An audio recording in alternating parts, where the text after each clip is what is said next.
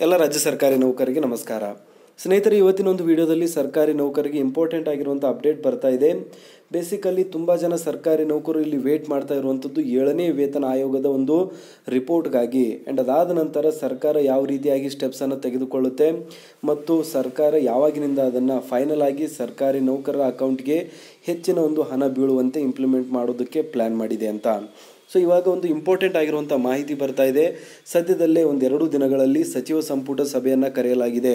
ಹನ್ನೊಂದನೇ ಸಚಿವ ಸಂಪುಟ ಸಭೆಯಲ್ಲಿ ಏಳನೇ ವೇತನ ಆಯೋಗದ ಬಗ್ಗೆ ಸಂಪೂರ್ಣವಾಗಿರುವಂತಹ ಚರ್ಚೆ ಆಗಿರುವಂಥ ಚಾನ್ಸಸ್ ಕೂಡ ಇದೆ.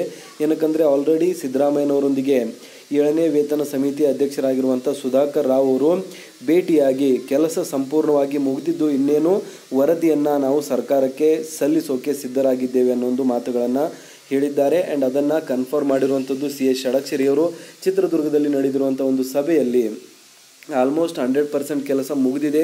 ಇನ್ನೇನು ಸರ್ಕಾರಕ್ಕೆ ವರದಿಯನ್ನು ಸಲ್ಲಿಸೋದು ಮಾತ್ರ. ಇದಾದ ನಂತರ ನಾವು ಸರ್ಕಾರದ ಜೊತೆಗೂಡಿ ಫಿಟ್ಮೆಂಟ್ ಮೇಲೆ ಮುಂದಿನ ಚರ್ಚೆಗಳನ್ನು ಡಿಸ್ಕಸ್ ಮಾಡಿ ಎರಡು ಮೂರು ತಿಂಗಳಲ್ಲಿ ಇದನ್ನು ಕಾರ್ಯರೂಪಕ್ಕೆ ತರುವಂಥ ಕೆಲಸ ಮಾಡ್ತೀವಿ ಅಂತ ಹೇಳಿದರು. ಸೊ ಹಾಗಾಗಿ ಈ ಎಲ್ಲ ಒಂದು ಮಾಹಿತಿಯನ್ನು ಗಮನದಲ್ಲಿಟ್ಟುಕೊಂಡು ಈ ಒಂದು ಸಚಿವ ಸಂಪುಟ ಸಭೆಯನ್ನು ನಡೀತಾ ಇದೆ. ಇದರಲ್ಲಿ ಏಳನೇ ವೇತನ ಆಯೋಗದ ಬಗ್ಗೆ ಮಾಹಿತಿ ಸಿಗಲಿದೆ ಅನ್ನೋದ್ರ ಬಗ್ಗೆ ಇಲ್ಲಿ ಒಂದು ದಟ್ಟಣೆಗಳು ಬರ, ಬರ್ತಾ ಇರುವಂಥದ್ದು. ಸೊ ಏನಿದೆ ಅಂತ ನೋಡ್ತಿದ್ದೀರಾ? ಇಂದಿನ ಸಚಿವ ಸಂಪುಟ ಸಭೆಯಲ್ಲಿ ತೆಗೆದುಕೊಳ್ಳಲಾಗದ ಮಹತ್ವದ ನಿರ್ಧಾರ ಅಂತ. ಸೊ ಕರ್ನಾಟಕ ಸರ್ಕಾರದ ಕಡೆಯಿಂದ ಒಂದು ಸುತ್ತೋಲೆಯನ್ನು ರಿಲೀಸ್ ಮಾಡಲಾಗಿದೆ. ಇಲ್ಲಿ ನೋಡ್ತಾ ಇರುವಂಥದ್ದು ಕರ್ನಾಟಕ ಸರ್ಕಾರ, ಸರ್ಕಾರದ ಸಚಿವಾಲಯ ವಿಧಾನಸೌಧ, ಸಚಿವ ಸಂಪುಟ ಸಭೆಯ ಹನ್ನೊಂದನೇ ಸಭೆಯ ಸೂಚನಾ ಪತ್ರ ಅಂತ. ದಿನಾಂಕ ಹತ್ತೊಂಬತ್ತು ಹತ್ತು ಎರಡು ಸಾವಿರದ ಇಪ್ಪತ್ತ್ಮೂರರಂದು ಗುರುವಾರ ಮಧ್ಯಾಹ್ನ ಮೂರು ಗಂಟೆಗೆ ಸಚಿವ ಸಂಪುಟದ ಎರಡು ಸಾವಿರದ ಇಪ್ಪತ್ತ್ಮೂರನೇ ಸಾಲಿನ ಹನ್ನೊಂದನೇ ಸಭೆಯನ್ನು ವಿಧಾನಸೌಧದ ಸಚಿವ ಸಂಪುಟ ಸಭಾಮಂದಿರದಲ್ಲಿ ಕರೆಯಲಾಗಿದೆ. ಸಭೆಯ ಕಾರ್ಯಸೂಚಿಯನ್ನು ಪ್ರತ್ಯೇಕವಾಗಿ ಕಳುಹಿಸಲಾಗುವುದು ಅಂತ. ಆರ್. ಚಂದ್ರಶೇಖರ್ ಸರ್ಕಾರದ ಜಂಟಿ ಕಾರ್ಯದರ್ಶಿ, ಯಾರ್ಯಾರಿಗೆ ಹೋಗಿದೆ? ಮುಖ್ಯಮಂತ್ರಿ, ಉಪಮುಖ್ಯಮಂತ್ರಿ, ಎಲ್ಲ ಸಚಿವರುಗಳು, ಸರ್ಕಾರದ ಮುಖ್ಯ ಕಾರ್ಯದರ್ಶಿ. ಸೊ ಸರ್ಕಾರದಲ್ಲಿ ಯಾರೆಲ್ಲ ಇದ್ದಾರೆ? ಎಲ್ಲರೂ ಕೂಡ ಇದರಲ್ಲಿ ಪ್ರೆಸೆಂಟ್ ಇರುವಂಥದ್ದು ಹತ್ತೊಂಬತ್ತನೇ ತಾರೀಕು.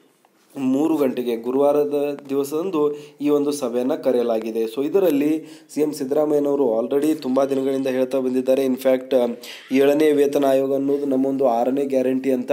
ಸೊ ಇವಾಗ ರಿಪೋರ್ಟ್ ಕೂಡ ಸದ್ಯದಲ್ಲೇ ಜನರೇಟ್ ಆಗಿದೆ.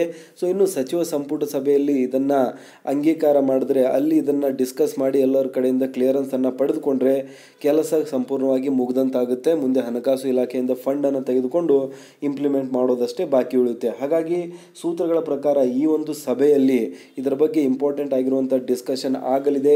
ಎಲ್ಲರ ಮುಂದೆಯೂ ಕೂಡ ಈ ಒಂದು ಏಳನೇ ವೇತನ ಆಯೋಗ ಸೇರಿದಂತೆ ಹಳೆಯ ಪಿಂಚಣಿ ವ್ಯವಸ್ಥೆಯ ಬಗ್ಗೆ ಒಂದು ಪ್ರಸ್ತಾಪವನ್ನು ಇಲ್ಲಿ ಇಡಲಾಗಬಹುದು ಅನ್ನೋ ಒಂದು ಮಾತುಗಳನ್ನು ಹೇಳಲಾಗ್ತಾ ಇದೆ. ಸೊ ಇದರ ಬಗ್ಗೆ ಏನು ಅಧಿಕೃತವಾಗಿರುವಂಥ ಮಾಹಿತಿಗಳು ಮುಂದಿನ ದಿನಗಳಲ್ಲಿ ಬರುತ್ತೆ. ನಾವು ನಿಮಗೆ ತಿಳಿಸ್ತಾ ಇರ್ತೀವಿ. ದಯವಿಟ್ಟು ಮಾಹಿತಿಯನ್ನು ಎಲ್ಲರ ಜೊತೆ ಶೇರ್ ಮಾಡಿ ವಿಡಿಯೋನ ಲೈಕ್ ಮಾಡಿ. ಸಿಗೋಣ ನೆಕ್ಸ್ಟ್ ವಿಡಿಯೋದಲ್ಲಿ ಜೈ ಹಿಂದ್, ಜೈ ಕರ್ನಾಟಕ.